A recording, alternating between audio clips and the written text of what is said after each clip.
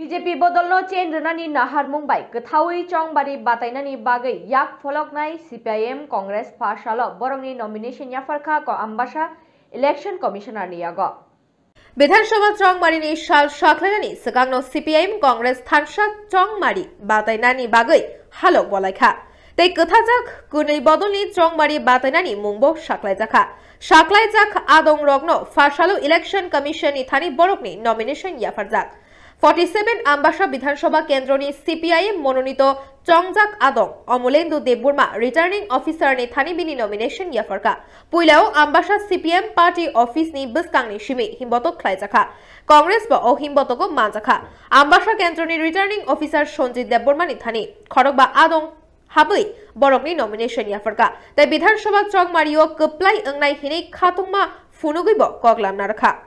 আজকে আমরা আমাদের বামপন্থী এবং কংগ্রেস এই জোটের মধ্যে আমাদের পার্টি সিপিআইএম সাতচল্লিশ আমবাসা কেন্দ্রে আমাকে প্রার্থী হিসেবে মনোনীত করেছে। আমি পার্টিকে ধন্যবাদ জানাই। তার সাথে সাথে আজকে আমরা নমিনেশন জমা দেব। এই নমিনেশনের মধ্যে মিছিল করেছি মিটিং করেছি। ব্যাপক সারা লক্ষ্য করা যাচ্ছে। মানুষের উৎসাহ, মানুষের উদ্দীপনা, মানুষের উচ্ছ্বাস তারার মুখে, চেহারায়। এভাবে মানুষ আশা করছে যে কোন দিন এই বিজেপি, আইপিএফ সরকারকে এই রাজ্য থেকে বিতাড়িত করবে।